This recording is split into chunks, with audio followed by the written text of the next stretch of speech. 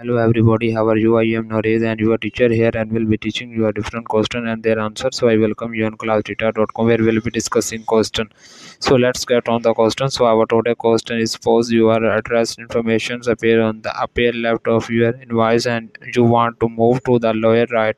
How would you do this? Option? A use the QuickBooks print managers editors. Option. B use the layout designers option. C open the financial statement designer option. D use the custom form designer.